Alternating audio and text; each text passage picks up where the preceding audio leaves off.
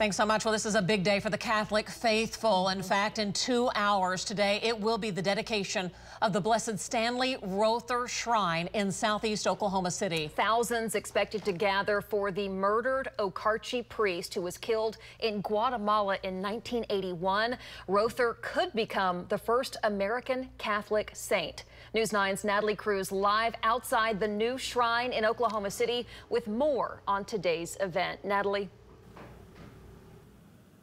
Robin and Lacey, and it is so beautiful out right now. The sun is shining. People are coming here from all over to be here for the ceremony.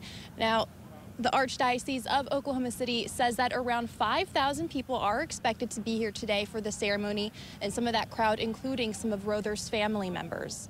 Now, the campus here will open to the public at 8 this morning. It's been open for almost an hour now, over an hour. However, those with reserved seating will not be allowed inside. That's going to be until 1030. Now, while there is limited indoor seating, the Archdiocese says the public can participate in Mass outside thanks to those big screens that'll be up.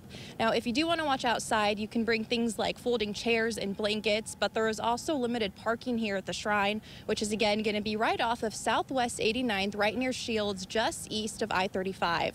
If you can't find parking here, there's going to be overflow sites with shuttle buses at the nearby Crossroads Church and Frontline Church. Archbishop Paul Coakley, who is leading the service, says the $50 million tribute to Rother is just part of Rother's journey to become what Coakley hopes is the first saint from the United States. The standards are very rigorous. Uh, we, the church will take a very skeptical approach to any reported miracles. So we'll see. And if you want to be here but can't, the Archdiocese will be live streaming that dedication ceremony, which is taking place at 11 a.m. Such a beautiful day to be out. In Oklahoma City, I'm Natalie Cruz for Oklahoma's Own News 9.